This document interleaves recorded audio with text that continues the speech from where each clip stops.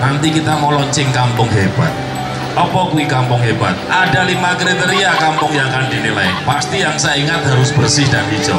Semuanya harus menghargai dan menghormati. Kita tinggal di Indonesia berbeda-beda tapi tetap Kampung pintar itu kategorinya lebih pada memanfaatkan kemajuan teknologi informasi. Kreatif dan inovatif menikah penting sekali. Jadi di dalam era keterbukaan hari ini, panjenengan harus punya pemikiran-pemikiran yang kreatif supaya kampungnya jadi top markotot dan he, hebat. Bismillahirrohmanirrohim. Kita bareng-bareng membuat Semarang semakin baik dan semakin hebat.